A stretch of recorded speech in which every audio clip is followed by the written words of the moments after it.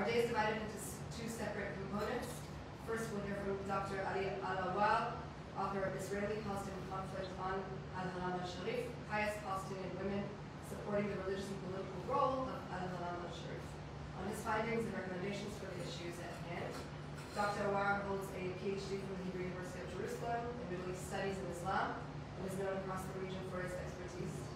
Afterwards, we'll host a panel of speakers representing a number of positions over parallel and often overlapping issues, from egalitarian prayer at the Western Wall to the question of Jewish prayer uh, at the holiest of holies to the centrality of the, the city to the Christian doctrine as well. So let us first begin with Dr. Awar. Uh, first of all, Ramadan Kareem. Thank you. And we'll start with a brief presentation before we start with the Q&A. Uh, I'll just open your, yours. Yeah, sure. Thank you, sir.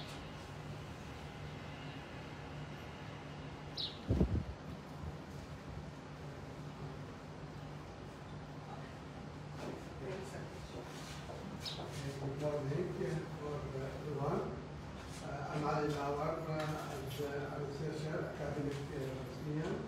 Uh, I have a PhD from uh, Hebrew University of uh, Jerusalem and Middle East uh, and uh, Islam.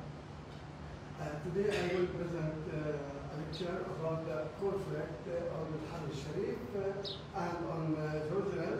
We uh, can start uh, as a title. You can see it that At the heart of Israeli-Palestinian conflict. So this is the center of the Israeli-Palestinian conflict, Haram Sharif, and we will go see uh, how uh, the conflict uh, uh, uh, continues. Okay. First of all, I, uh, I will talk about that Haram Sharif is very important for the Muslim, uh, for uh, Muslim tradition.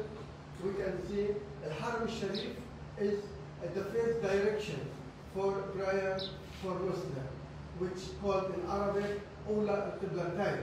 Ula al-Qiblatain before Mecca became the, uh, the direction for praying uh, Muslim. Uh, and uh, the second point that's very important, which written or mentioned in Quran, that the night journey uh, from Mecca to Jerusalem for Prophet Muhammad, which called also in Arabic al-Isra wal-Mi'raj. Also, we have hadith uh, related to Prophet Muhammad. He said that's the most important mosque. Every Muslim can go to visit that uh, uh, Mecca mosque, Al Medina mosque, which called the Prophet Muhammad mosque, and the Hayat Al Aqsa mosque and Jerusalem. That uh, give us how the connection, the, the scared uh, religious or the connection uh, religious between Muslim and the holy site, Al Haram Al Sharif. Okay.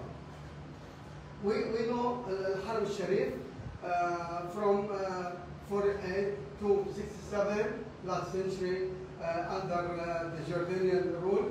Uh, but in 1967, we know that Jerusalem occupied by Israel uh, and uh, Haram Sharif also uh, occupied uh, uh, for uh, June uh, 467.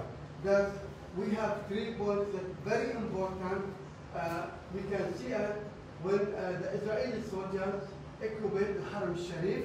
The, uh, the General Motta Gur, he said, Al-Aqsa is in our hands, uh, which called in Hebrew, uh, uh, Har HaBayit BeYadeinu, as uh, we can see. Uh, but after that, uh, Moshe Dayan, Minister of Defense of Israel, he ordered the Motta Gur that see Israel flag raised on the dome of the rock. He ordered the soldiers on the dome of the rock be taken down the flag of Israel. And he added in a statement in the Western Wall, Moshe Dayan, Minister of Defense, he said, we did not come to Jerusalem to conquer the holy places of others. Dayan announced that the Jewish would be allowed, okay, no problem, the Jewish would be allowed to visit the Temple Mount, the Haram Sharif, the Aqsa Mosque, but not to hold religious service there. So that's very important from uh, Minister of Defense Moshe Dayan in 67.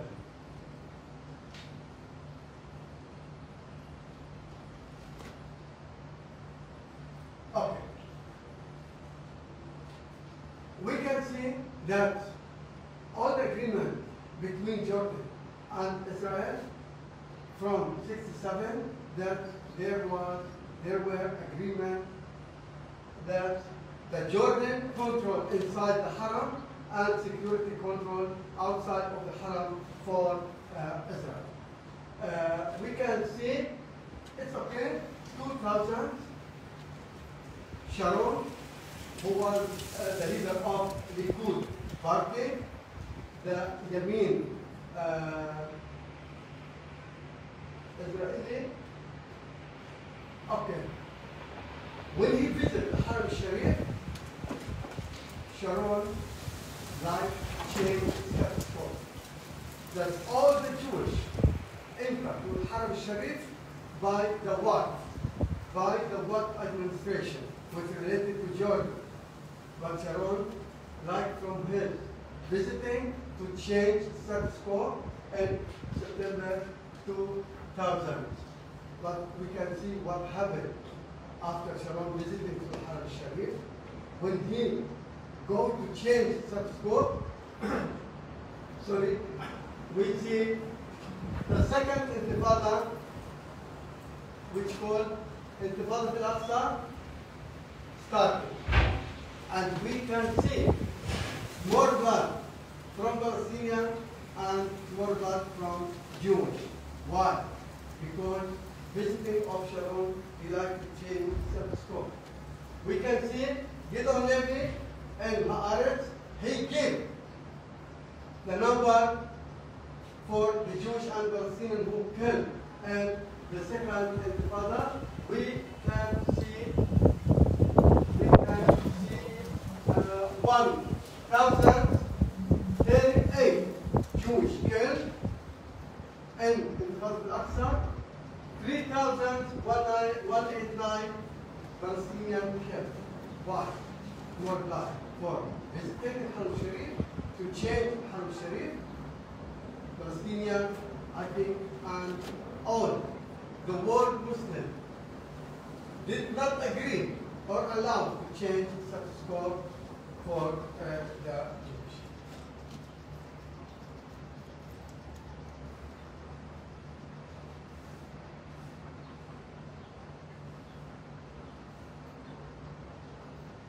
Okay, so all the visits of the Jewish groups, we can start from Yud- Yud- Yehuda Glick to Benjamin, or uh, we can see uh, Sharon, or the others, or member uh, Knesset, or uh, ministers from Israel government. All their business, we can see that in order to give the conflict religious nature, that all visiting that and to change the conflict from national uh, conflict to religious conflict.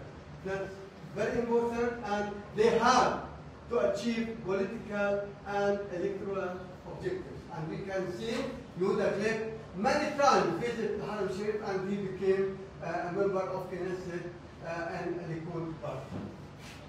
Okay, so I say that Al-Aqsa is in danger. Al-Aqsa is in danger because the Israeli government allowed to the Jewish group to enter Haram Sharif every day and they like change the status quo in Haram Sharif. You can, we can see together that one of uh, thing of Yuda Glick and his friends more and more visit. You can see also Jewish groups when uh, the police uh, uh, came there. then, oh, we can see that Ronald Kushman is the leader of Israel police in Jerusalem, allowed last week to bring a beer to visit Haram Sharif, and I think he must back to the history and he see that the blood from uh, the Sharons visiting the Haram al-Sharif before 22 years. And I hope to stop all the stuff is in danger. Also, we have the uh, uh, Islamic movement in Israel, which led by Sheikh Salah. Also, he supported the Murabiti and the Murabita to come to Al-Aqsa Mosque and uh, uh, prevent the Jewish groups, to stop the Jewish groups to enter Al-Haram uh, Sharif. Yeah. Why found uh, the uh, Murabitat? Uh, we can we can back to 2015 uh, and we can see that Israel did not allow the men to enter Haram Sharif. So uh, Mufti Sheikh Akram uh, Sabri and Sheikh Ra'ad Salah decided to uh, uh, to establish that Al Murabitat movement, Al Murabitat that's related to women. Palestinian women, Muslim women, to uh, stop the Jewish groups to enter the Haram al-Sharif. And we can see this is number of Murabitat. And if you can see, they said we are related to Muslim Brotherhood. You can see that the symbol of the uh, Muslim Brotherhood, Rabah al-Adawiya. You remember the time of Sisi, uh, uh, and the Muslim now said we are related to Muslim Brotherhood. Uh, you can see that one of my interviews of, for, uh, with the Murabitat, they uh, uh, said uh, we, we are afraid to the Jewish groups. They aim to divide the Haram Sharif. Why Aqsa is in danger? Because the Muslims, the Palestinians, afraid that the Jewish groups going to divide Haram Sharif between Jewish and Muslim and to destroy Al-Aqsa, the Murabitat said, we refuse all types of visits. We refuse all types of visits by Jewish to Al-Haram Sharif. We will not allow to Jewish to pray in the side because we are afraid that their activities for Jewish groups will lead to changing the status quo and destruction of that Mosque and the Dome of God. Okay. In Elizabeth, the Murabitat and the Muslim and the Palestinians said nowhere to divide that's Mosque between Jewish and uh, Muslim. Yeah. Netanyahu. Yeah, we remember Netanyahu. Netanyahu's status quo will not change. Kerry, understanding in Amman, with his meeting with King Abdullah II, he said that quo will not change in Haram Sharif. But Netanyahu's policy on the ground aims to change the status quo. You can see. Netanyahu likes to put uh, electrical doors, cameras on the gates of uh, Al-Aqsa Mosque. That means Netanyahu would like to change status quo. Yeah. Palestinian refused, rejected all the actions from Israel government, from Netanyahu. And we can see they praying outside of the Haram Sharif that in 2017. And we remember Intifada Bab al-Asbat, which called Intifada Bab al-Asbat. That's the Muslim Palestinian rejected all the Israel government uh, actions uh, to change status quo. yeah, that's clearly understanding 2016, and the violence continued in 2017. We can see Palestine refused any actions to change the situation before 14 July 2017, and the Israeli government removed. You can see Israel government removed the weapon uh, and security cameras. And the Palestinian to Haram Sharif and Israel government removed all the uh, new uh, uh, actions or the uh, security camera, uh, cameras from the gates of the Sharif. Yeah. Now, now we are in the holy month for the Muslims, Ramadan month. And we can see it started before five days.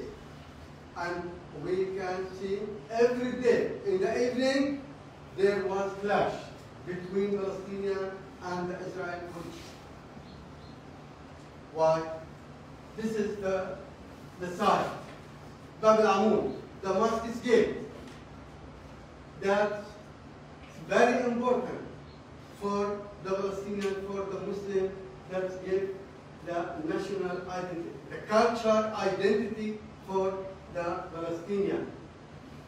The Damascus Gate is the center of the clashes between Palestinian and Israeli Damascus Gate represents Palestinian Islamic identity and culture. Yeah. If maybe someone asked me why, why Damascus Gate is very important for the Muslim. It's not the, the holy site, it's the enter, entrance for the uh, old city. Yeah, but we can see this is a popular place. Bab we can see the symbol of Palestinian art and culture. We can see popular Dabkin, uh, music, and the meeting the Palestinian and religious smoke nargile and many uh, cultural activities uh, uh, in uh, Damascus Gate after the uh, Palestinian finish uh, uh, uh praying, uh, uh, which is called Taraweeh. We can see the presence of dozens of heavily armed, many armed, many Israel armed, many Israel police, and Damascus Gate. Why? This is Damascus Gate will stand that the meeting, the popular place, the culture place, more activities, fun, art, music for the Palestinian. And I think if we need peace in these days, in Ramadan month, I think that the main important action for the Israel police and the Israel government that the police station at Damascus Gate must be removed. I am Jerusalem. I live in Jerusalem. I live, I live, I live in all city. And I see it every day, how the clash between the Palestinian and Israel police. So I think that the police station at Damascus Gate must be removed and you can write about it. Yeah, I did not uh, uh, back to the uh, Israel law, uh, Israel Knesset law, but the main important things that the United Nations Security Council resolution 478 that did not recognize for the Israel law which declared that uh, Israel uh, uh, complete and united capital for Israel. The United Nations Security Council did not recognize for Israeli Knesset or Jerusalem. Yeah. The last part in my lecture that's very important for to that Al-Aqsa Mosque, a sacred place for Muslim, yeah, we know. But also, has become a symbol of national identity for Palestine. Al-Haram al-Sharif is not only the religious place, the holy site for the Muslim, it also became a symbol of national identity for Palestinians, and I think that's very important. Al-Aqsa Mosque, Al-Haram al-Sharif, is the third most important three holy sites for the Muslim. But after the Israel occupation, after Israel occupied Jerusalem, Jerusalem became, Al-Haram al-Sharif became a symbol of national identity for Palestinians. My recommendation in this picture, you can see, Al-Aqsa Mosque, 144 dunams has been owned by Muslims and Palestinians for about 1,400. 1,400 it's been owned by Muslims and Palestinian. And change to this legal status will lead to increase hostility and violence between Palestinian and Israeli. Who want or who like to change status quo, that means more violence between Palestinian and Jewish. The Israeli government must, uh, must put an end to the policy of supporting the Temple organizations that seek to make the conflict religious. Jewish groups, Yehuda Glick, Ben others like to change to the conflict from national conflict. We can solve it by political, by negotiation, but they like to change the conflict to religious conflict, which makes it difficult to achieve a political solution.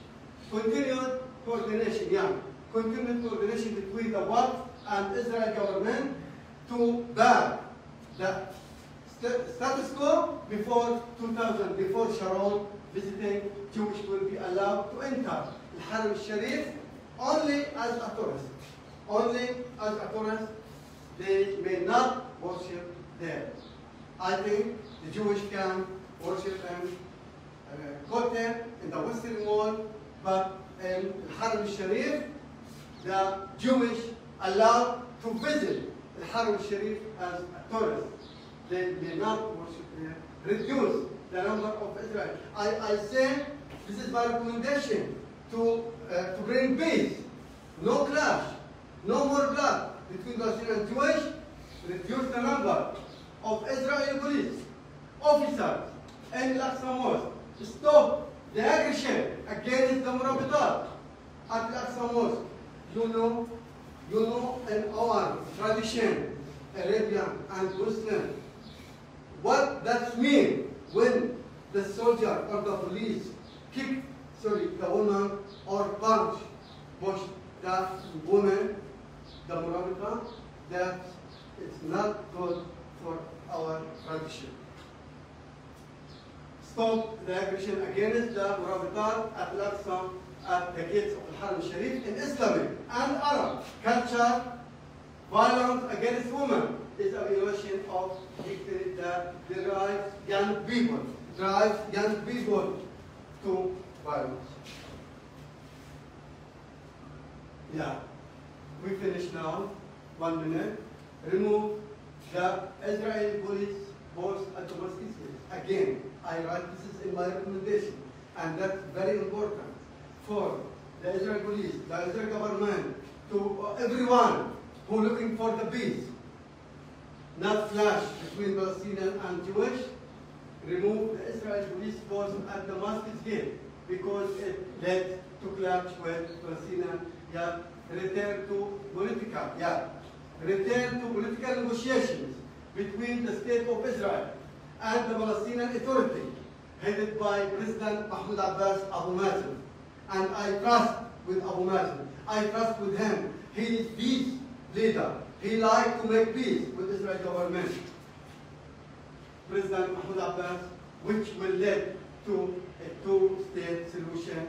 The state of Palestine with East Jerusalem as its capital, along with the state of Israel and end Finally, all United Nations resolutions define East Jerusalem as an occupied territory and that Israel must maintain the cultural, religious, and demographic situation in Jerusalem. So that means no change to status quo in Jerusalem and Haram Sharif.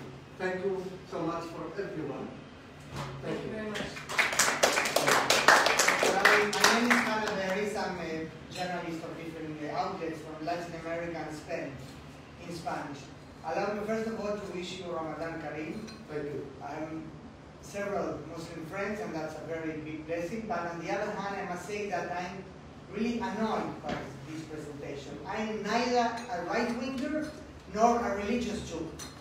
But the presentation is a real distortion, I think, not only of history and, and present situation, of course, not distortion of, of the is that see, but I think that the main problem is that Muslims nowadays, in the last tens of years, it wasn't the situation like that, you know, several centuries ago, do not recognize the link between the Jewish people and Jerusalem. You stress that the Haram Sharif is a third uh, most important mosque in Islam. Well, the Temple Mount in the Jewish terminology is the first most sacred place for Jews. And when the Jews, I know that in the groups that in the last uh, years have been coming in larger numbers, go to the mount, there are people among them who try to, to, to pray, we know that, but that's not the characteristic of those groups. They never try to enter Haram Sharif. Uh, Sharon, which, whom I didn't like at all, didn't enter Haram al-Sharif, the mosque itself, as well. He went to the mount, of course. But I mean, the main problem, I think, and as I told you, I, I never voted for the right. I'm not a religious person. I'm not interested in praying anywhere.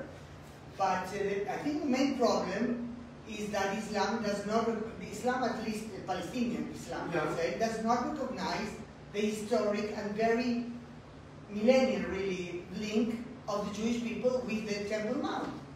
And that, that's the problem. You think it's, you know, you are not, I don't mean personally, of course.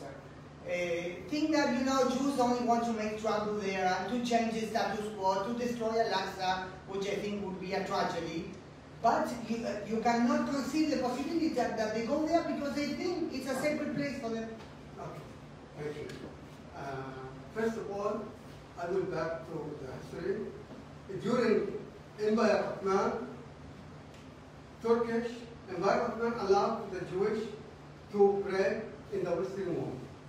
And if I take you more to the history, you remember that the Jewish, the Romans, destroyed all the history of the Jewish, Beit HaMikdash or the others, and you remember, I think you read the history very well, that Khalifa Umar al-Khattab, he allowed the Jewish to to the old city. This is the first. Second, also, in the period of Salah ad-Din, the Salibi, Salib, that did not allow the Jewish to stay in the old city. But when Salah ad-Din liberated Jerusalem, he allowed to the Jewish to the. So now you can see, I take it from Halakha, from Obadiah Yusuf, that he said, no one can know where is the location of Beit HaMikdash. No one can know. Also, I didn't know. But you, you know, and I present now that the Palestinian recognize for the history of Jewish, but they did not, not recognize, sorry, they did not recognize that the Beit HaMikdash and Haram al-Sharif. This is from Obadiah Yusuf, Rabbeinu Obadiah Yusuf. This is halakha on Wednesday. That's the number 5775, Rabbi Obadiah Yusuf, that he said, we cannot be exactly sure where on the Temple Mount the Beit HaMikdash exactly stood. No one knows. This is not me and not Palestine.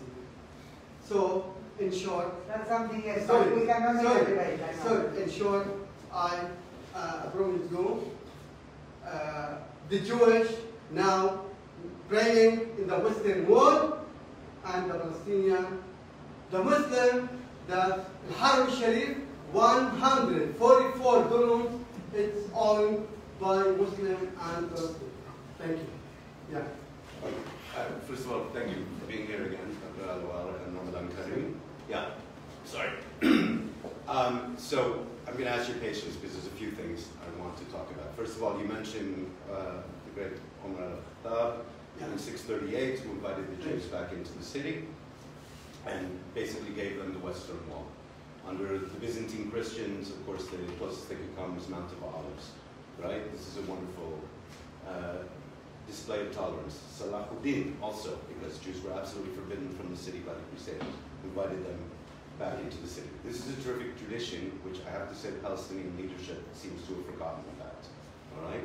Uh, there has been an attempt, particularly in the last 25 years, and I understand this is largely a reaction to the Temple Mount Faithful, the Temple Institute, and people sympathetic to them, to de-Judaize the Temple Mount, okay, to remove its historical connections. Famously, uh, Chairman Arafat said in, I think it was, I can't remember what year, but uh, said one of the most unbelievable contradictions of history ever. I'm not sure there ever was a Jewish temple on Temple Mount. I maybe heard about some temple in Nablus. This, of course, is crazy. The great archaeologist Gabi Barkai produced about 10 years ago a English language tourist pamphlet from the 1930s issued by the Wakaf itself that stated very clearly that the connection between Solomon's temple and the Haram al-Sharif is undeniable. Okay? And now we've seen for about 20 years an attempt to, to claim that they don't. Rabbi Ovadia Yosef, which is Sephardic rabbi, of course, a chief rabbi in Judaism is not like a pope in Catholicism. He makes a statement, and it's misinterpreted very much, and I think you've misinterpreted here. I don't know whether intentionally or not. Okay? When he's talking about where we don't know exactly where the temple was, he's speaking specifically about the temple, he says he uses Beit HaMikdash quite specifically, rather than Temple Mount So the Kodesh HaKodashim. Okay, because this is about, this is not about an issue about whether it was ever there or it's the correct location. This is about where the temple precincts were and which, whether non-Jews can go to it, and for Jews, what Jews can go to what part. And of course, in our tradition, only the high priest could enter the Kodesh HaKodashim on Yom Kippur only. All right, so to, to, there's this has been something that has come up over and over again over the last 20 years that he was suggesting that we don't really know where it was because of this awkward statement he. It's a misrepresentation. Thank you. Thank you. I, I, I like again that no one can know where is Principal Chief. This is the first point. Second, if we know the Principal Chief that uh, uh in Quran said, أفقد الطهور أفقد الطهور أفلو the المكير زي بون أكيد إن ذا مسلم وول أتتلو خلنا نجي لك if you زي اللي فيها ثورة اللي فيها أسامة Kadosh as uh, we back to understand. So I think that now we are have conflict and we can we can solve this conflict by negotiation and I think we we, we can uh, make a good agreement uh, in Jerusalem but the Jewish have to know that no one can change status quo. Haram Sharif uh, is only for Muslims and the Jewish can visit the Haram Sharif uh, as the other non-Muslim who come uh, who come from China, Japan, Greece, uh, uh, Roma, and the other countries.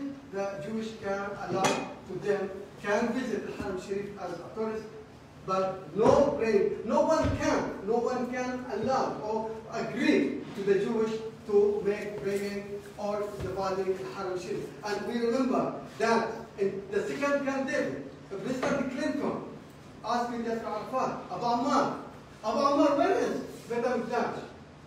Arafat said, I don't know, maybe in Yemen, maybe in if you remember, that uh, uh, statement uh, Farafan. So uh, I uh, promise you, uh, no one from the million Muslim allowed or agreed uh, the Jewish to play. Okay, I'm just gonna get your patience a little bit more. First of all, I want to say that on a personal level, okay, I'm absolutely opposed to any idea about removing the Muslim holy places on the Temple Mount. Okay, And wait, I, I'm, and I would ask I'm a tour guide and I'm a historian, and it's my favorite place in the world. A short question. Do you see me one time I am in the Kotel and the Western Wall?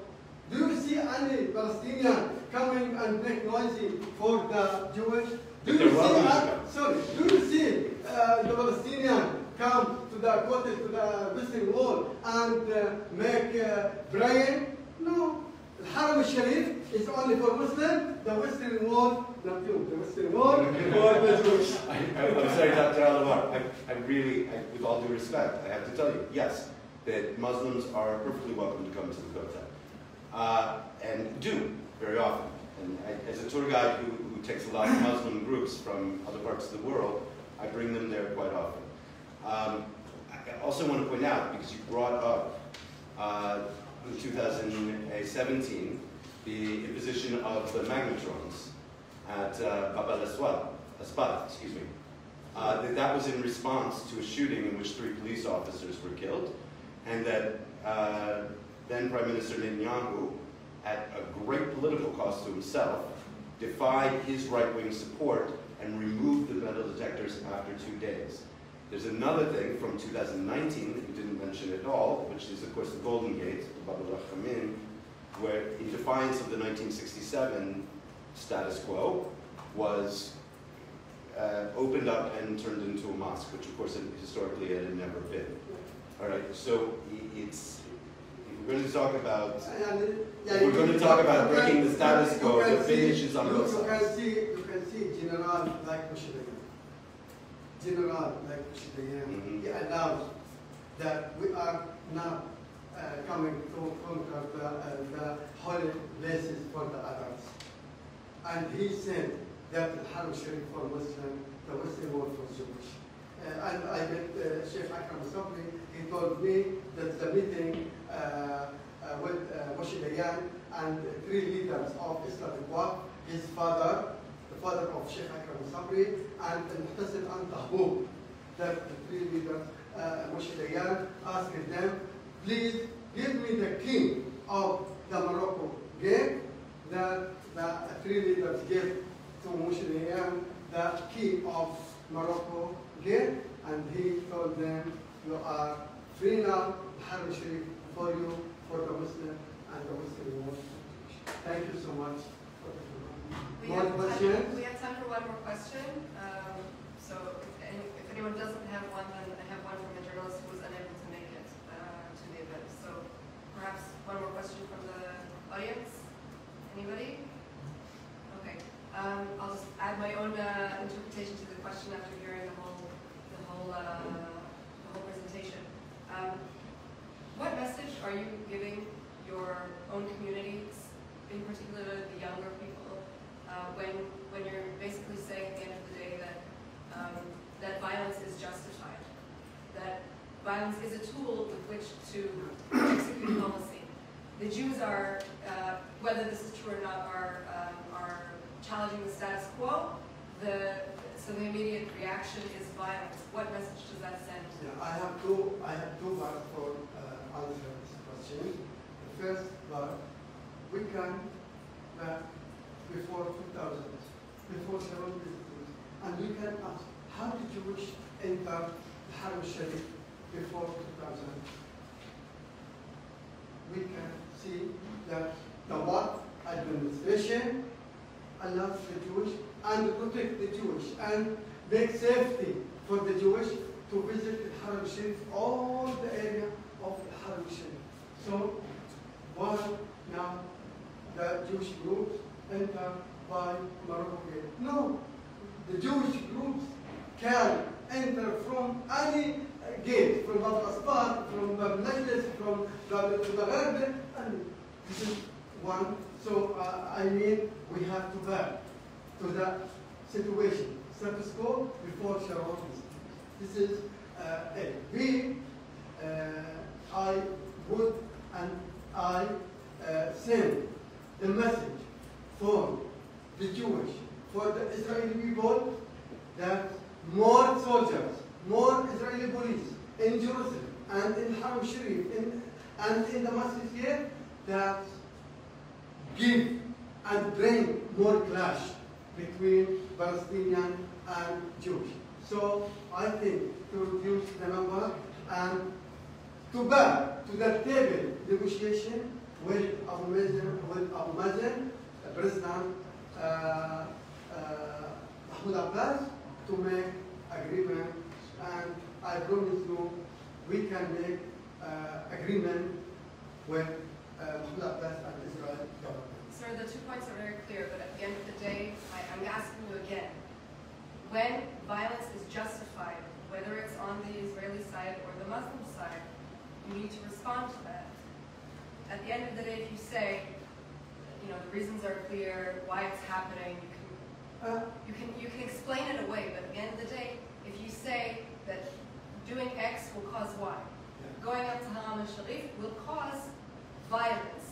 There, there's a logical issue in, there. in short, Israel police must stop their policy in Haram Sharif, in Sheikh Jarrah, in Damascus and in the other places in Jerusalem. That means the Israel government have to know that no one can change the religions from the Palestinian people, the ideology from the Palestinian people. So I think, uh, again, uh, the holy site, the Haram Sharif, for the Muslim and Israel government stop to allow to the other, the Jewish people to enter Haram Sharif. One of the key issues at the heart of public debate in Israel uh, and the greater Judeo-Christian world. I'll also add that we're in the middle of the National Diaspora Awareness Week, so that's particularly interesting for our conversation. Um, I'll briefly introduce our panelists before um, hearing from each, and then we'll open for questions. So, uh, sitting to my left is Yehuda Glick, former member of Knesset on behalf of the Likud Party and a member of the Movement for Jewish Rights on Jerusalem's Temple Mount. He was pre- previously executive director of the Temple Institute and now heads the Shalom Jerusalem Foundation, as well as Amitzim, an organization for young widows and orphans. Anat Ho- sorry, yes, sorry. Anat Hoffman is the executive director of the Israel Religious Action Center. Uh, she's the founder of the women's rights advocacy organization Women of the Wall, uh, and was a member of the Jerusalem City Council, where she represented the civil rights and peace movement. And we have, obviously, at the end here, Dr. Petra Heldt, uh, who is the executive secretary of the Ecumenical Theological Research Fraternity in Israel, a German native. She resides in Jerusalem. Uh, she's been here for more than 40 years. Uh, she's a lecturer in the Jerusalem Biblical Studies Society and previously was a professor for Jewish and Christian relations in the Middle East, in Middle East at the Jerusalem University College. So thank you all three of you for joining us today. Um, before each of you speaks, I've prepared kind of a guiding question for our conversation, if that's okay. Uh, and then, of course, we'll go into questions, as I said. Uh, so we'll begin with you, sir, if that's okay. Uh, it- you know, this is an unusual panel. We actually have more women than men. Uh, the uh, JPC's uh, affirmative action. No, I'm kidding. Uh, there's an expression, it's better to be smart than right. In Hebrew, יותר עדיף להיות אה, אה, חכם ולא צודק. It's something we often hear from security officials, uh, meaning that their goal of preventing an escalation of violence is, is greater than their sympathy for uh, the Jewish yearning to pray at the Temple Mount. Um, how do you reconcile uh, between your responsibility, I guess, uh, as a former parliamentarian uh, for public safety and your responsibility to see through your own ideology and personal beliefs. Well, it's, very often that could be a contradiction. But when it's not a contradiction, it's even better. It seems like very, very important for me, human life, and uh, also important for me that Jerusalem should be a city of peace.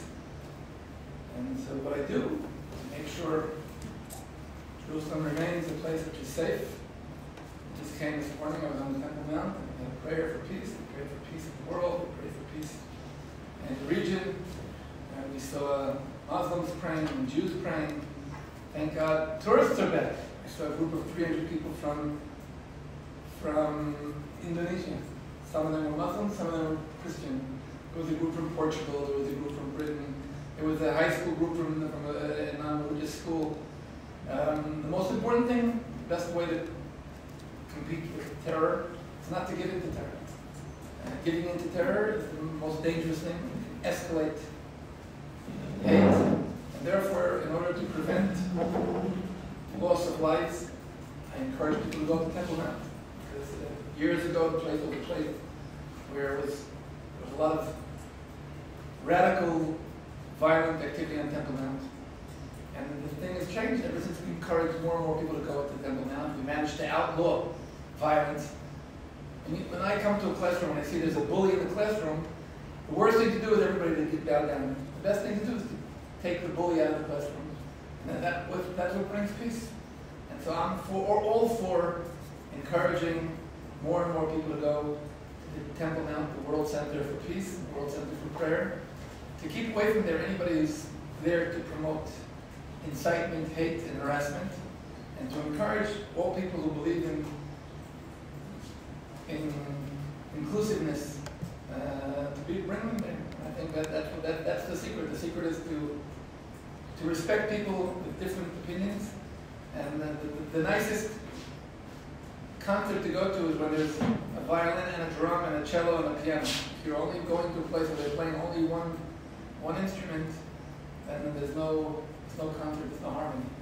So the best way to promote harmony is by promoting harmony. Okay, thank you so much. Um, Ms. Hoffman, uh, the issue of egalitarian prayer in Jerusalem seems to be reserved, at least in terms of recognition of it, is, is in either Israeli or Jewish diaspora uh, discourse. It's not something that, I'm sorry. The, the issue of egalitarian prayer, egalitarian prayer in Jerusalem is something that is usually discussed only in, you know, in the, in the, in the Jewish or the Israeli discourse. It's not something that the rest of the world is really familiar with. Um, there, are, there have been several compromises on the table uh, in the past, uh, and either have been rejected by, uh, by ultra-Orthodox members of government or, or even members of your own community. Um, could you maybe explain a little bit about what those uh, compromises are, what you believe should be the solution for what you're looking for to achieve? So first, let me explain what Women on the Wall want. We want four things, and they all begin with the letter T. And one of them is that this talit, a prayer shawl, and uh, I will expertly show you what a prayer shawl looks like for women. Um, In some Israeli audience, and asked not, not to put it on even, because it offends the feelings of others. Here, I feel um, comfortable enough. So this is a women's prayer shawl. It has the four mothers on all four corners. See, Sarah, Rivka, Rachel, and Leah. And on our other model, we have a southern model. It has a piece from uh, Song of Songs, and it says, "Let me hear your voice, because your voice is harmonious, and let me see your visage, because you're beautiful." That's what it says on our. So the first thing is talit. The second thing is tefillah, to pray out loud. The third is tefillin, the on phylacteries. And the fourth is Torah, praying from the, reading from the Torah, from the Holy Scroll of the Torah. And uh, in 33 years of struggle, uh, these are our, our four strategic goals. We won three out of four. It is now legal for a woman to wear a talis. It would not happen if we were there. It is now legal to put on phylacteries and light a menorah and read from the uh, scroll in Purim. It is legal to pray out loud. And the only thing left is that we're not allowed to bring the Torah so we could read from it. We're allowed to read from it, but we're not allowed to bring the object from which to read. Go figure, this is legally, makes absolutely no sense. We have, we are forbidden from bringing the object that we are allowed to read from. On the other side of the partition, uh, Of course, men are allowed to read from the Torah or on phylacteries, and there's nothing men do on the other side of the partition that bothers me. However, what I do is breaking the 13th regulation of the law of holy places.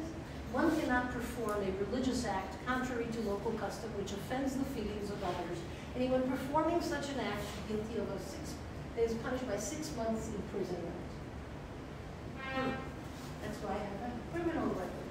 I keep breaking the 13th regulation because I think it's unconstitutional and unfair. What does it mean, anyone performing a religious act contrary to local custom? Who decides what's local custom? Which offends the feelings of others. Who decides whose feelings are offended and to what extent?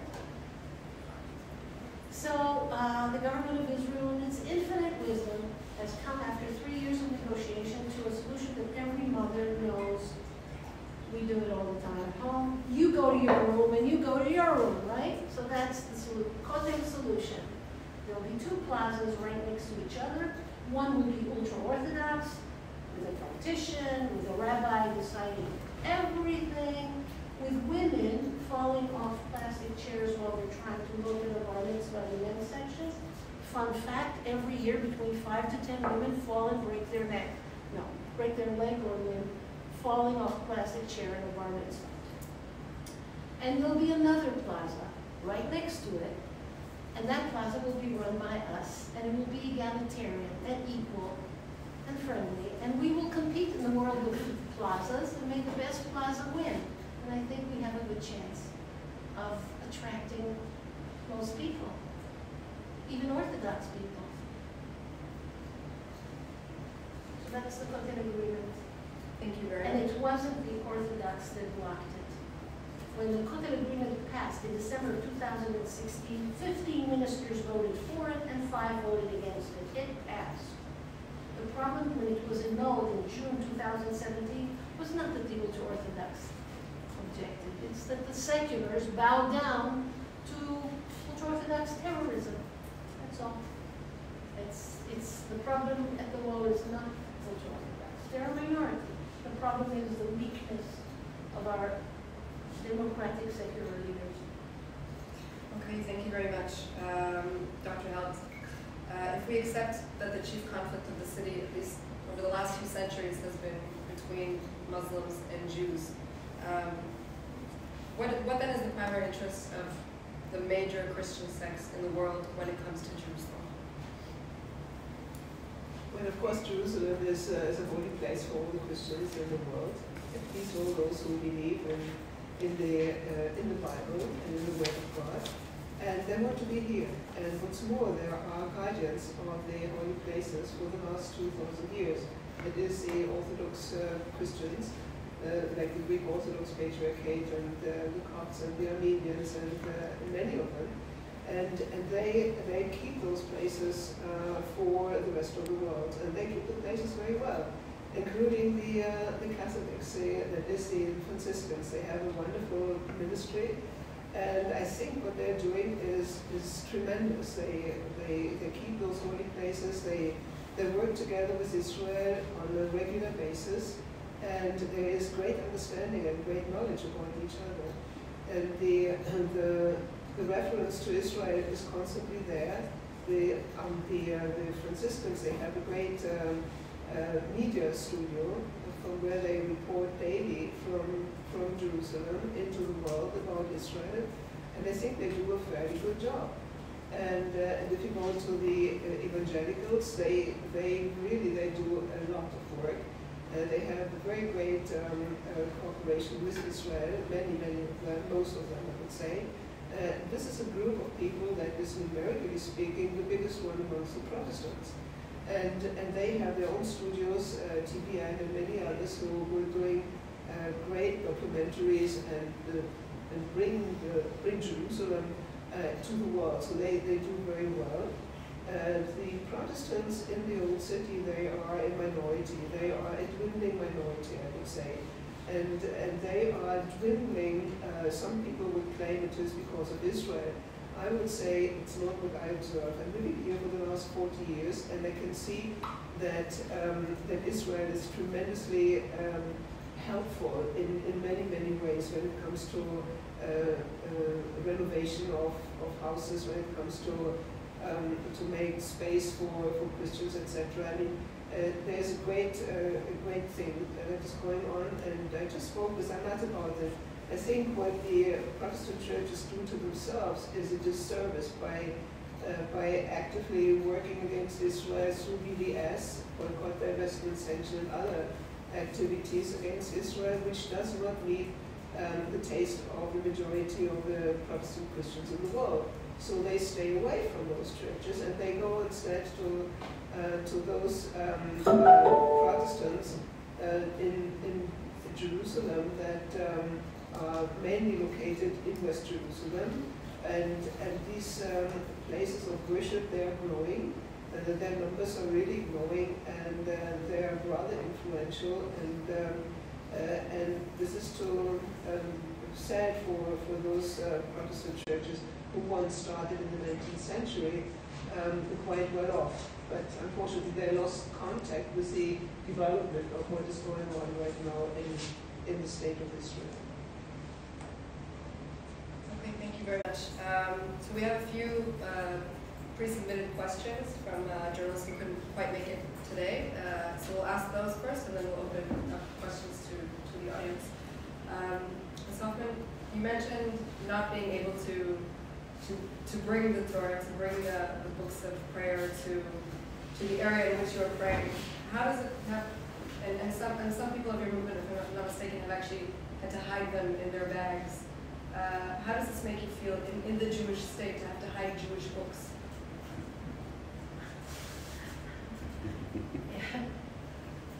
It's, it's, it misses the point.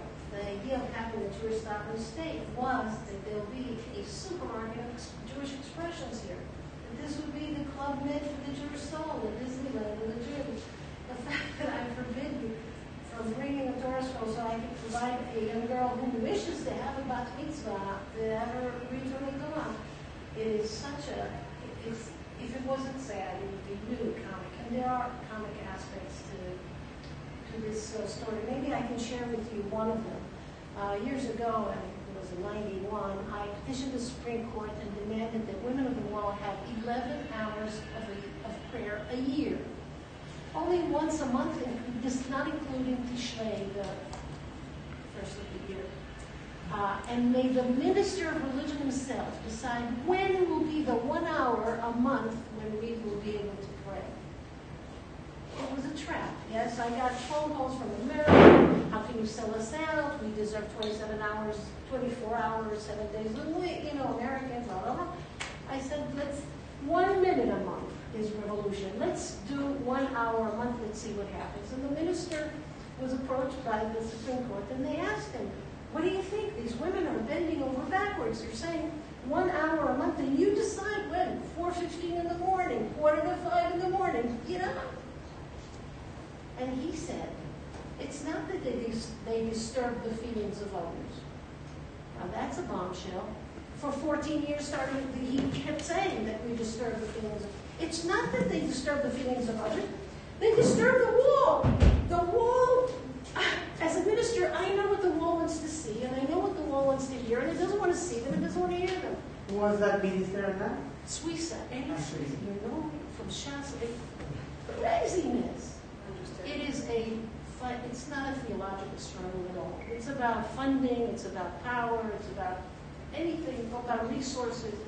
I've not, I, I don't think it's a theological argument in any way. I just have to say that um, having made Aliyah myself to Israel, not once did anyone sell Israel to me as a club med for the Jews or, or Disneyland for the Jews. Um, but thank you for that. Rabbi Glick, similarly, you're forbidden from using your own prayer books on the Temple Mount, uh, and doing so is punishable by law. Uh, what does this feel like? Well, uh, first of all, I definitely think that people should be able to pray in, everywhere. And if the story that I'm not telling is telling sounds weird, then and that we're talking at a place which has no heritage, something that was made up in the last 50 years, nothing to do with the Jewish people, the Western Wall. We're talking about the Temple Mount, which is the world center of the Bible for thousands of years. The place where Christianity began, where Jesus turned over the table and started Christianity. There, Christians who come from all over the world cannot carry the Bible that tells the story It's very, very disturbing. I'm not can walk into the temple, to the kotel with, with a prayer book. She can walk into the kotel with a, with, with, with a Torah book. Can't walk with a scroll. We cannot walk not with a prayer book, not with a Bible, printed Bible in our not with a menorah, not with a, again, a, a, it's, very weird.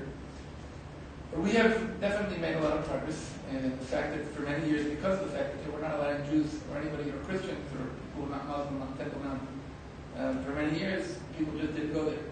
And the change has been, has been that we've encouraged people to come. And the more people come, the more it's becoming peaceful and quiet.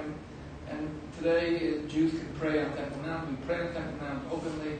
Unfortunately, we, cannot uh, carry any kind of uh, prayer book or any kind of uh, Torah scroll, but we uh, we have our cell phones, and that has all the prayer in there. So we pray on Temple Mount openly uh, every single day. But still, unfortunately, Temple Mount is open for non-Muslims only four hours a day, five days a week. For Muslims, it's open uh, 16 hours a day, seven days a week. Uh, but, but, but mainly, the question is not but when you bring a book, you can't bring a book. The question is how we refer to the place. The place which is holy to Jews, to Muslims, to Christians, to all believers in the Bible, should be a place of peace, should be a place that all people are, are supposed to be able to come there. And uh, if we came and for some reason, for some accident, historical accident, uh, people have stopped and changed history and falsely turned the Western Wall into a holy place, which is nothing, no, no, no, no historical facts to that, and have turned their back on the holy place, the only one holy place in the Bible. That's what's strange. So we're trying to less to fight the government and less to fight. We're trying to reach the hearts of mankind. We're trying to tell well, every tourist that comes to Israel, go to the Temple Mount. Every Jew who's here in Israel, go to the Temple Mount. And the more people who go to the Temple Mount, the more chance that it will be a peaceful place for everybody. The more people that will run away from it, uh, neglect it, that will leave place for the radical people who are searching to encourage violence in, in the city. Which you know firsthand, of course. Uh, Anat, do you, do you have aspirations for the Temple Mount then? If uh, said wall is not uh, holy? Well, once the government of Israel, I hope, it- once the government of Israel decides that Jews can pray openly at the Temple Mount, I would expect that women will be allowed the same rights. But right now, this is not the case. But I want to say something about prayer books. Just a few months ago, we got a 39 of our prayer books were destroyed at the Kotel by a mob. Uh, 39 books torn to pieces. Uh, here's one of the pieces we were able to salvage from just bending down and picking them up. It happened on the 11th of June. Um, I talked to some of the 150 police and ushers that were there because I had a very simple question. How come a mob destroyed that many prayer books at the Kotel and not one person detained? One person having any consequences? And I was told that it wasn't seen as the hate crime that it was. If a Palestinian would have torn up 39 prayer books, of course, they would identify it immediately as a hate crime. It was seen as a, an expression of religion. And that's a very sad comment about our town, in about Jerusalem, that this can be seen as an expression of, uh, of the, of, of the faith. And this is for you, Yuda, a friend and a colleague for many years. ליהודה, מקום שליבי אוהב שם בלילה לדחוף אותי, this is from the Talmud, the place that my heart holds dear, my feet would bring me near. I'm sharing with you a torn piece of my Siddur out of 39 prayer books that were destroyed on the 5th, 11th of June. Broken, no one was detained, no one for this. Let's hope for peace and equality. Amen. Thank you very much. This is very disturbing. that, uh, People allow themselves to I have a video. destroy. You see the faces of the people who did it. It's so easy. You guys know there are more cameras there than anywhere. Not one person detained. So don't tell me about how safe it is to go to the prayer book to because I, when I take one of, this is one of the Women of the Wall prayer books, I'm not sure I'm gonna bring it back in, as, in one piece, or as, have it burnt, burnt ashes, as happened a few times, as you know.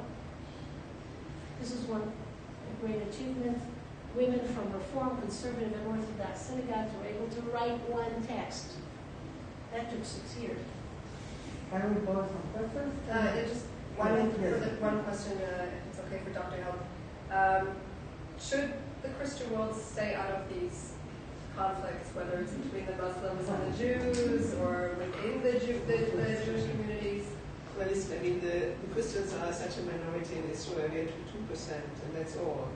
And uh, amongst us, we are quite divided. So uh, there are those who take stands with uh, with the Jewish people, and uh, and those who don't. I mean, this is not that, that there is one person Christians.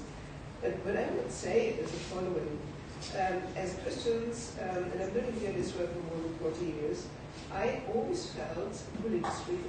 I really never ever saw anywhere a restriction in my worship practice or etc. But um, also when I look at, uh, at Muslims, they have religious freedom. They do what they want. They they go to the they go to the temple mount, they do uh, their prayers and whatnot and so on. So and, and they are also protected. It seems to me the only people who are not experiencing uh, religious freedom are Jews in Israel. This is such a sad situation because um, what Yehuda says, uh, what Anat says, it's very, very true. And it's very extremely disturbing. And then, of course, the government is uh, trying, um, you know, to, to be very, very uh, silent about it and, and not to, to disturb anybody. And uh, as Anat said before, it is a bit of a, of a counter situation, it seems. Uh, and also vis-a-vis the Muslims. And so there, sometimes it seems to me that Israel could be much more forceful uh, vis-a-vis its own Jewish people. Thank you. Just before we open the floor for questions, it is important for me to make clear that there were immense efforts to bring uh, a speaker from the Muslim community to participate in this panel, uh, but those efforts uh, were fruitless. Uh, so just to put it out there. Uh, please, questions. I have, uh, shall I um, ask separately to each? Uh, I have questions too. How about we do one question at a time so we make sure that everybody Okay, has an okay, opportunity? okay. Yes, of course. So you know what, Petra, I would like to ask uh, you, when you say the only ones who do not enjoy freedom of worship uh, are the Jews, you refer to those two cases, different ones, of course, presented by Anat and Yehuda because of women on the problems of the women on the wall, and um, the group of Jews who, like Yehuda, want to pray on the Temple Mount or think they should should be, you know, open free. You refer to that, or you see other problems regarding Jewish worship in, in Israel? I mean, these are two obvious cases which I refer to now, but I'm sure, um, and also I observe there are other cases in, in this respect as well. And the uh, they're not always very happy uh, with the Orthodox and the other way around as well. So there is a lot of, uh, uh, of, um, of discussions within the Israeli society going on with restrictions that one uh, puts against the other. Um, so I think this is not unusual. It's a very healthy situation. And healthy, of course, it is. Uh, it's painful, but but it is good that there is this kind of dis- discussion going on. And you have the same thing in, in the in the Christian world. And of course, it's not so obvious here on the table, but uh, Christian women uh, being uh, ordained ministers, they have uh, not a chance in the Orthodox world. And, and I'm ordained, an ordained woman uh, of my Protestant church, so I'm very happy and proud of it. but, um, but I know exactly what the Orthodox, what my place in the Orthodox Christian world is. It is not the, the place of worship. I mean, I can worship, but under the direction of man. But then, on the, on the other hand, I personally have learned, personally, I don't uh, say this for anybody else, it is um, um, it doesn't matter to me today any longer very much who is leading the worship because um, I'm going there to worship. And uh, in my youth, I was really very strong feminist, etc. So, so I know exactly what it is to feel uh, to feel deprived of doing what you really want to do. Today, I, I feel different. You know, I can do what I want to really do, and that is teaching and doing research. This is where I'm free to do, even with the Orthodox world, uh, the, the Christian Orthodox world. Um, not necessarily with the Jewish Orthodox world. When they say I study the Gemara, it's a bit of a uh, it's not right for the Christian, you know. But uh, not everybody would say that. But there are those who do. So there are limitations constantly, and the question is how do I work with those limitations?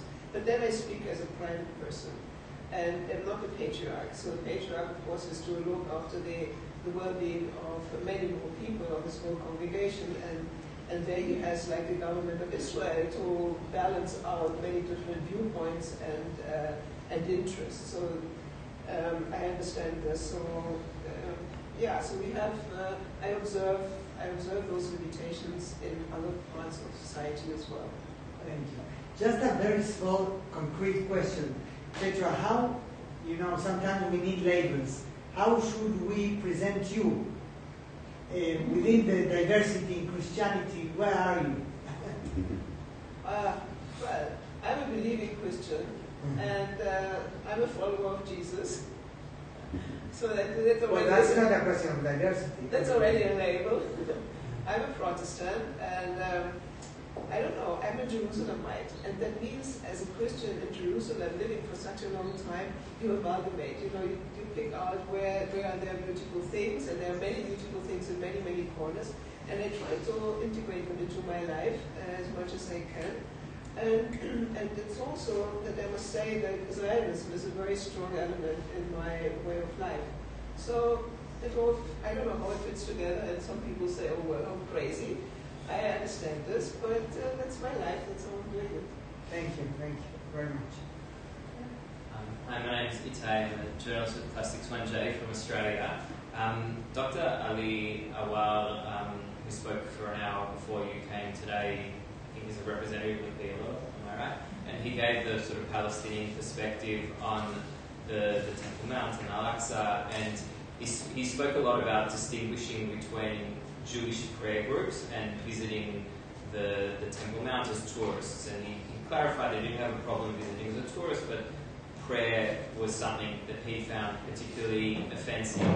And he, he spoke about how, I guess, Palestinians in, in reality only exercise sovereignty in Al Aqsa. Like, there's no other place where they have sovereignty in Jerusalem, and so that sovereignty is very important for them to defend, which is why they object so much to, to Jewish groups praying there. The question I want to ask is, and maybe I'll use a Hebrew word, kavanah. Do you think kavanah matters? As in, if someone goes to Har HaBayit to pray with Israeli flags and sing nationalist songs or even have chant, is that different to someone that goes to serve Hashem? And should kavanah be a factor in deciding whether one can pray at a certain place? I'll just say intent would be the, Yeah, but it, like a more in a religious, okay. yeah, way, yeah.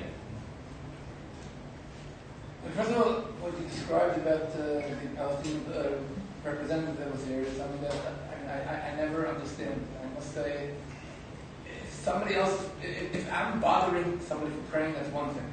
But the fact that I pray bothers you, that's something that, that, that in my in my religion is, is intolerable. How can the fact, I mean, I'm such a nice person on lady, but if you pray near me, oh my God, it's terrible. And, and that's something that, that, that, that shows that there's a problem. Why does the fact that I pray bother somebody else's sovereignty?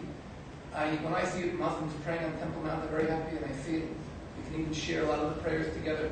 Just like when I see Christians praying together, I just came back from a prayer uh, event in Dallas, Texas. There was a thousand people praying together, Jews, Christians. I go and visit mosques, and people are very complimented by the fact that I'm praying in their mosque.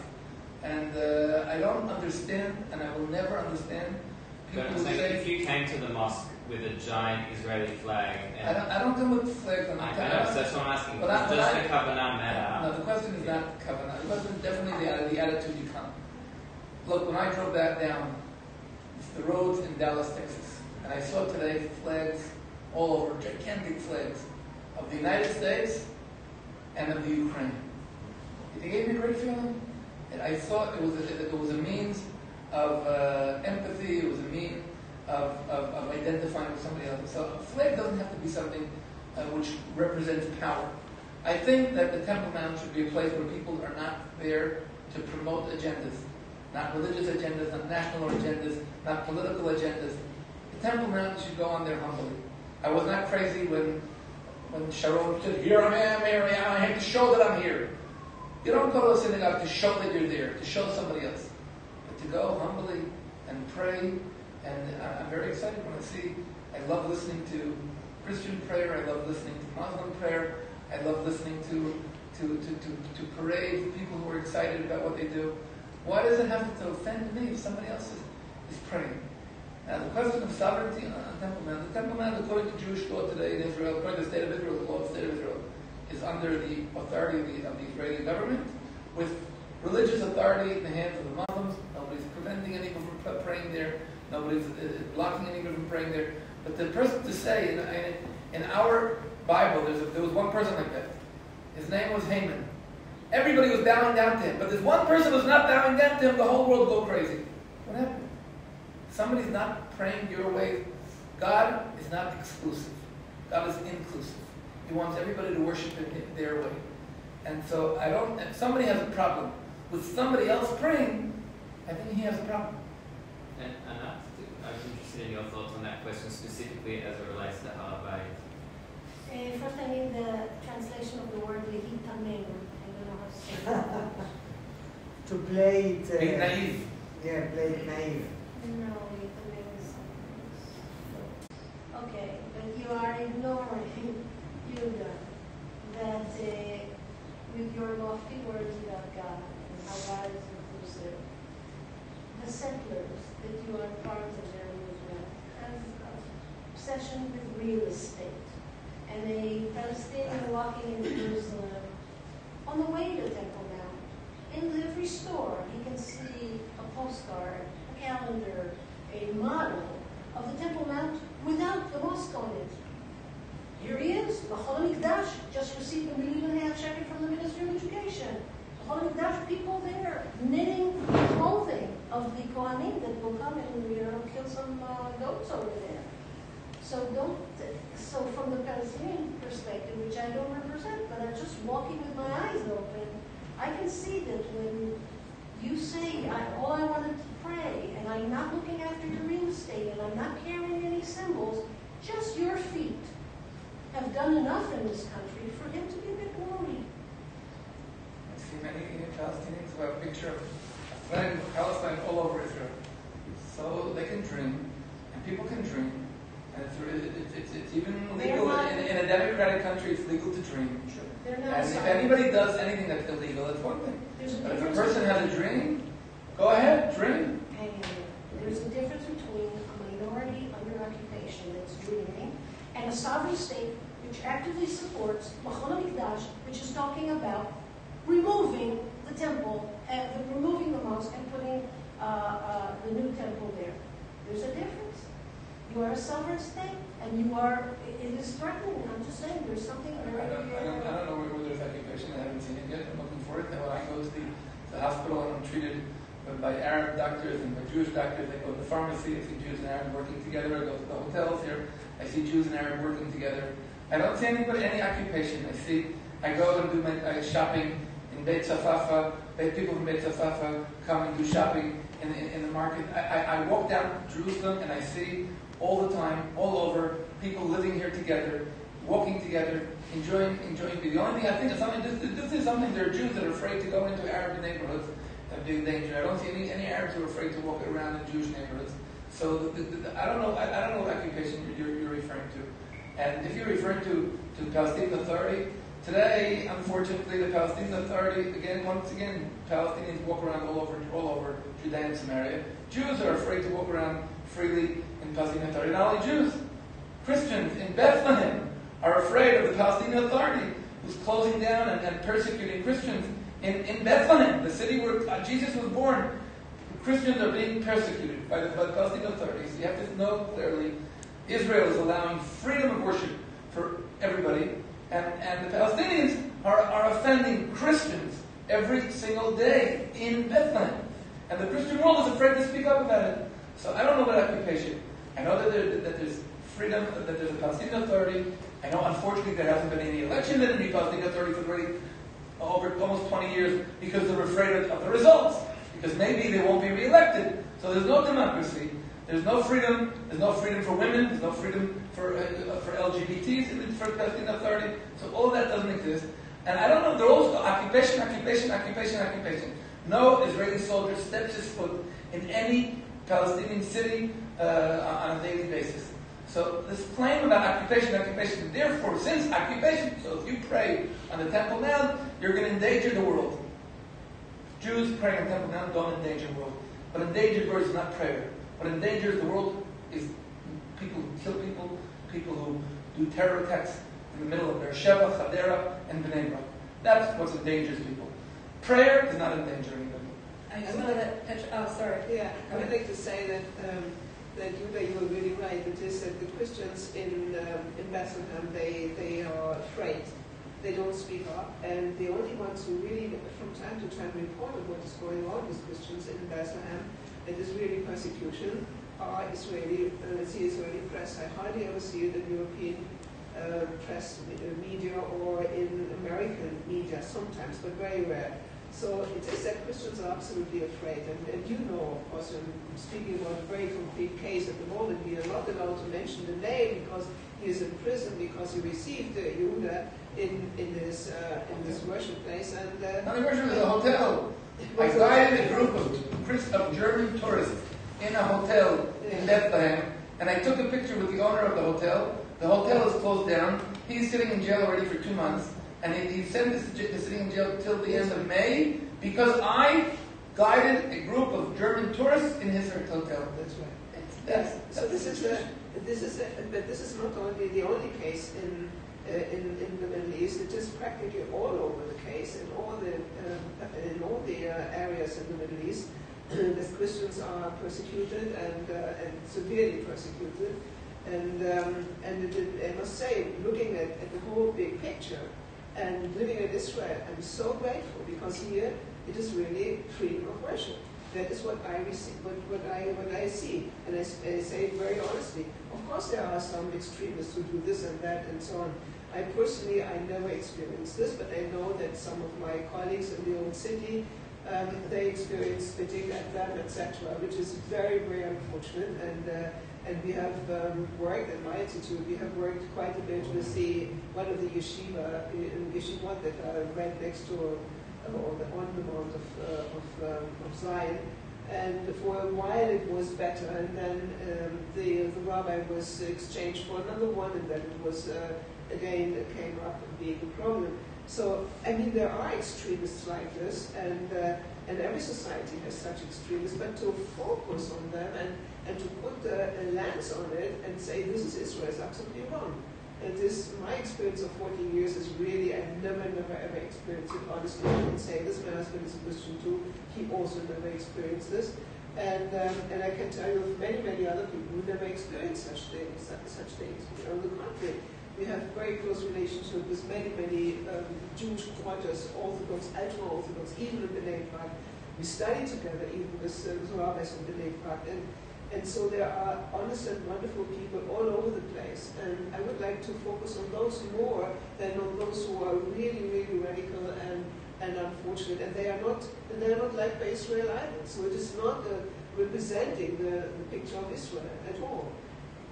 You mentioned several times, and others as well, that uh, that it, is, it isn't indicative of what's going on in the rest of the Middle East in terms of the right to uh, Christian freedom of worship. Do you think that the clergy needs to be more uh, verbal, more loud about about that? And we don't hear often about that issue. Where they are afraid to speak about the issue of persecution in the Middle East. Because uh, many of those um, uh, religious leaders who are living here in Israel, they represent um, their constituencies abroad in the Middle East. And many times uh, they are afraid if they speak up for Israel in public that this will do harm to their constituencies in Syria, in, uh, in Iran, in Iraq, um, in, in Turkey, or in Lebanon and other places. So that's why that's why they keep silent. But we all know that silence is never ever a, a good uh, a good choice. Like what you said before, if you don't go to the Temple Mount, then there's free space for other people who use the space for their own um, atrocities or their own uh, evil thoughts. So the same uh, when you when you speak when you're not speaking about the, the these uh, um, persecutions and, and genocides that are going on in the Middle East against Christians, um, then this is uh, to, to the Christians' own um, predicament.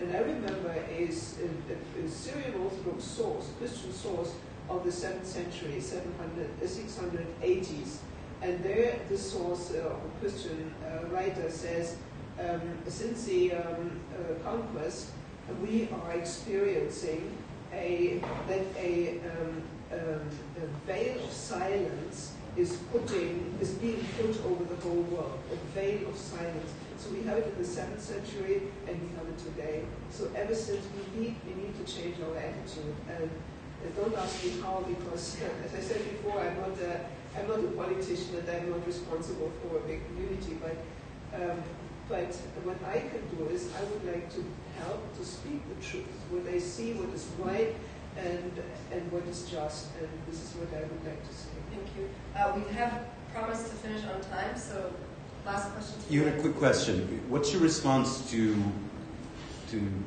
Jews who don't think Jews should go up to the Temple Mount on religious basis? I've heard you speak about this in public a little bit, but.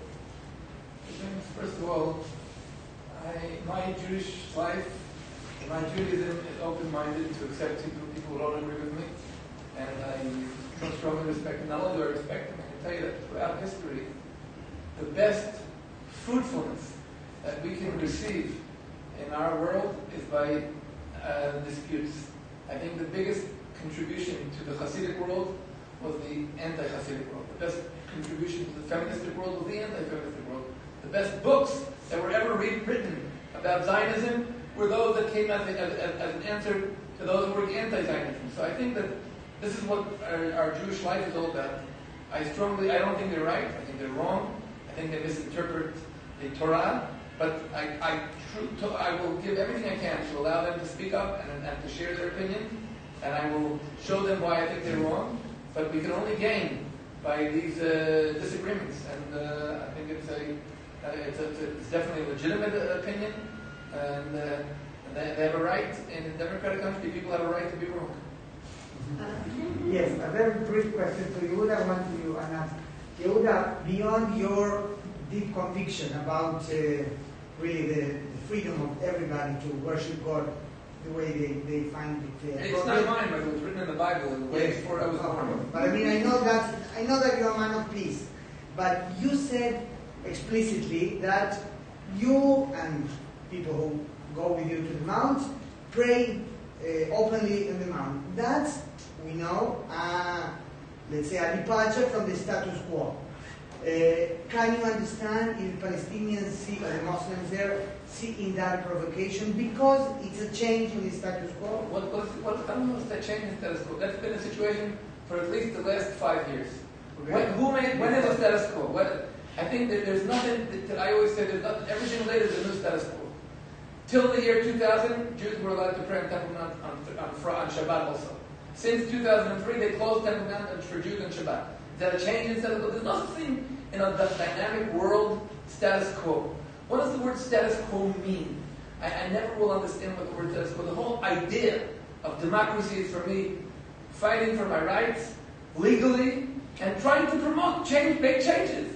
I, I wore a different shirt yesterday, and my children are were, were four years old 15 years ago. Now they're, they're 19 years old. What can I do? The world changes. There's no such thing in a dynamic world as a thing called status quo. It's, it, it, it's, it's something that, that, that I don't understand. Everything should be done publicly, openly, freely, respectfully, and, uh, and, and, there, and, there's no status quo in Temple Mount. They, they opened the new mosque uh, on, the, on the gate, the gold, near the Golden Gate uh, two years ago. Good. I'm happy people pray. And change the status quo. I don't know what change the status quo. As long as people are doing it and not harming other people, it's wonderful. Yehuda, are there Muslims with whom you are in contact, either on the Yes, Temple there, are- there are many. who share your there, views? there are many. Unfortunately, every one of them is afraid for his life.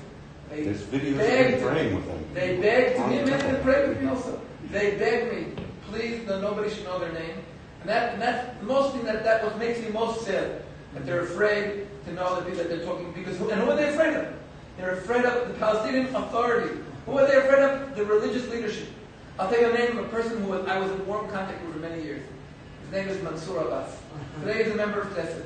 But when he were, we were in contact, and I was in contact not only with him, with his leader, Na- Na- Narwish. We were very close to close, but, but they always warned us. Nobody should know. Nobody should know.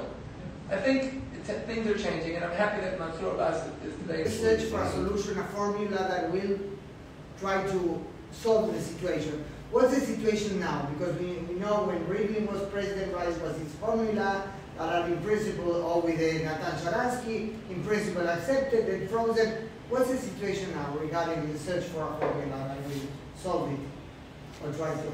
So first, this government is, uh, certainly received a blow today. Uh, to begin with, this government, you know, it reminds me that when the first platypus arrived in the, at the end of the 18th century in London, the zoologists couldn't believe that this is a real animal. They felt that someone in Australia connected a beak of a bird and the fur of a squirrel and tied together the, the tail of a fish, touching all the families of the uh, zoological world. It couldn't really can't be that a mammal lays eggs, that has feathers, that acts like a fish, and the males, by the way, can sting like a snake. It just makes no sense. This government is a platypus. It's, I don't understand how they exist. They wake up in the morning every day and they ask themselves, do I hate Netanyahu more than I hate my government mates? And this morning, apparently. And now they're choking on bread, on breadcrumbs because of the rent issue in the hospitals, of course, the religious issue. Um, What's going to happen with the Kotel agreement? We are trying to push, uh, of the seven parties that make the government, five said they want to implement the Kotel agreement. Um, But the two parties that are against it are now falling apart. Uh, If you ask me frankly, what will bring the immediate implementation of the Kotel agreement, it's a situation which I don't want to see, but it will be bloodshed at war. This destruction of the, of the books, the fact that we are physically attacked every time we go, the fact that there is such immense incitement against us. We are seen as the reason for corona. In fact, there is a table that someone published that shows that when we pray, the corona goes up. When we don't, we prayed on Zoom, the time corona went down. I have the table. Someone actually went and did this study. With this much of incitement and zero interest to protect, protect us, I'm reminding you, 150 ushers and soldiers and, and police saw the books being torn to pieces. Not one person detained.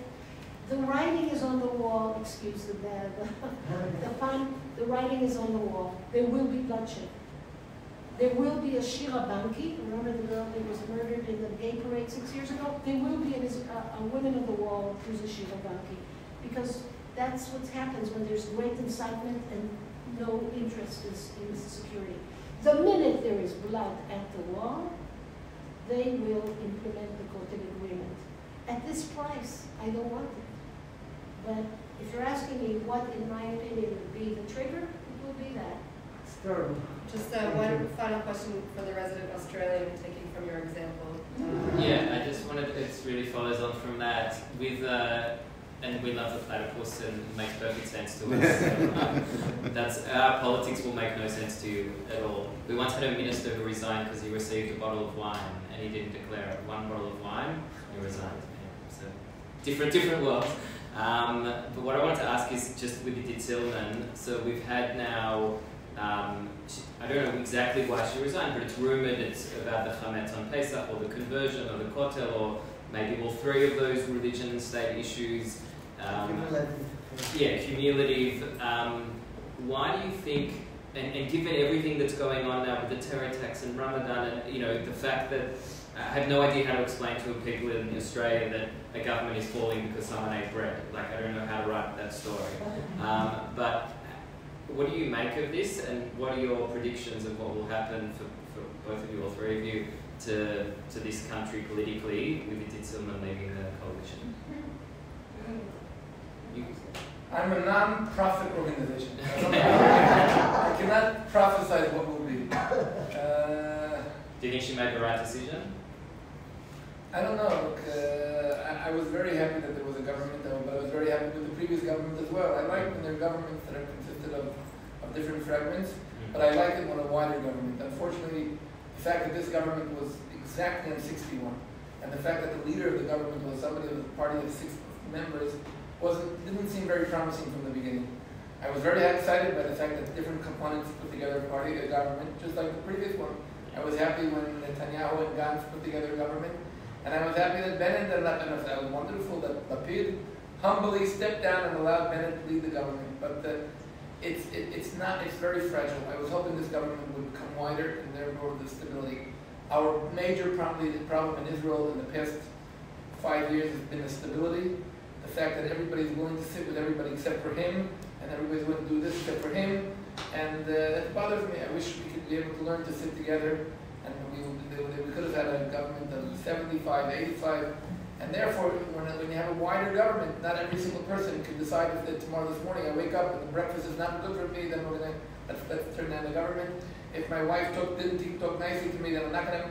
I don't know for Idit Silman what, what, what was so great yesterday, which is so bad today, and, uh, and vice versa. So I, I wish there would be more stability and more inclusiveness, and we can have a wide, strong government which is not on one side, which, is, which has more, as many components as possible. Uh, I love this idea, I'm not also non-profit. Uh, but, uh, there's a chance that maybe the uh, joint party list, the Bishop will join. If they will join, they will say this government, they're saying they will never do it, and mostly they don't say do it with us, who did stuff. It's easier for, for Bennett to make peace between the Russians and the Ukrainians than to make peace with him between Mansour Abbas and Ahmed Tibi. So, John, John, give us And John, do you want to add anything? Well, I, I would like to say that uh, the vision of peace that comes out here several times is something that I really would like to share. I know Israel is, uh, is ready for peace, but in the meantime we have to discuss a lot. And peace comes at the end of times, we are not there yet. In the meantime, I really, really hope, and this is my prayer, that Anat and your group can pray freely and openly at the Kotel, because it's only just and right in my mind, and that Yehuda can go to the Temple Mount and, play, and pray at the holiest uh, place of the, of the Jewish people, the Temple Mount. And, and so, and I hope, speaking from a Christian point of view, that um, different issue, but very important, that the hotel in um, uh, Jaffa Gate is going back to the Greek Orthodox Church. So if this all happens, then we will have peace and everybody will be happy. I think on that note, we'll, we'll finish. We'll also wish uh, everybody uh, happy Passover, happy Easter, and Ramadan Kareem, which all happens at once.